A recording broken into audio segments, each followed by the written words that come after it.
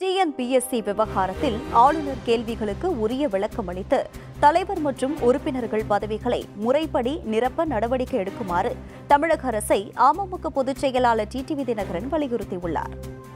TTV Dinakaran வெளியிட்டுள்ள வலைதள பதிவில் தமிழ்நாடு அரசு பணியாளர் தேர்வாணைய தலைவர் மற்றும் உறுப்பினர்கள் பதவி நியமனம் தொடர்பாக தமிழ்நாடு அரசு அனுப்பிய கோப்புகளுக்கு ஒப்புதல் அளிக்காமல் ஆளுநர் ஆர் என் ரவி திருப்பி அனுப்பியுள்ளதாக ஊடகங்கள் மற்றும் நாளிதழ்களில் செய்தி வெளியாகியுள்ளதாக குறிப்பிட்டுள்ளார். டிஎன்பிஎஸ்சி பகுதிகளுக்கு பரிந்துரைக்கப்பட்ட நபர்கள் எந்த அடிப்படையில் இறுதி செய்யப்பட்டனர் உறுப்பினர்கள் தேர்வில் உச்சநீதிமன்ற வழிகாட்டுதல்கள் முறைப்படி பின்பற்றப்பட்டதா போன்ற கேள்விகளை ஆளுநர் எழுப்பியுள்ளதாகவும் கூறப்படுகிறது.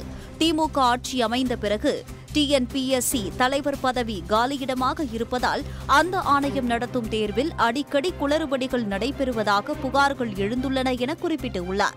வேலைவாய்ப்புக்கான தேர்வை எதிர்பார்த்து லட்சக்கணக்கான இளைஞர்கள் காத்திருக்கும் நிலையில் விதிகளை மீறி தலைவர் மற்றும் உறுப்பினர்களை தேர்ந்தெடுக்க திமுக அரசு முயற்சிப்பதாக கடிந்துரைத்துள்ள டிடிவி தினகரன் ஆளுநர் எழுப்பியிருக்கும் கேள்விகளுக்கு உரிய விளக்கங்களை உடனடியாக வழங்கி அவரின் ஒப்புதலை பெற்று காலியாக உள்ள டிஎன்பிஎஸ்சி தலைவர் மற்றும் உறுப்பினர்கள் பதவிகளை முறைப்படி நிரப்ப அரசு நடவடிக்கை எடுக்க வேண்டும் என வலியுறுத்தியுள்ளார்.